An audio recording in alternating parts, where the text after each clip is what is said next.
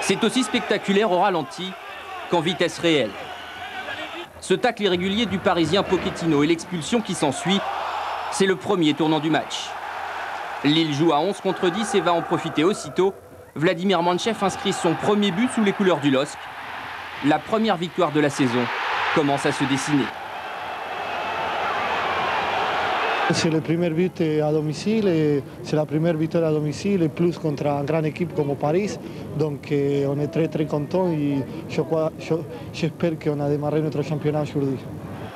La suite du match et les expulsions qui continuent. Celle de Bachou côté lillois pour cette faute sur Ronaldinho. Les deux équipes ont à nouveau le même nombre de joueurs et bientôt le même nombre de buts. Paris égalise sur ce pénalty transformé par le champion du monde brésilien. Mais il était dit que le scénario allait se répéter. À 20 minutes de la fin, nouvelle expulsion, cette fois-ci du Parisien Aloisio, et Paris se retrouve à 9 contre 10. La sanction est immédiate pour Luis Fernandez et ses hommes. Le deuxième but lillois, celui de la victoire, est à nouveau signé du Bulgare, Vladimir Manchev. Il faut avoir les pieds sur terre et se dire que bon, on a marqué que lorsqu'on était en supériorité numérique. Donc euh, je crois qu'il ne faut pas, s'emballer, on a, encore une longue route à faire, mais euh, c'est positif. La fin du match sera houleuse avec l'expulsion de Frédéric Déhu, la troisième côté parisien.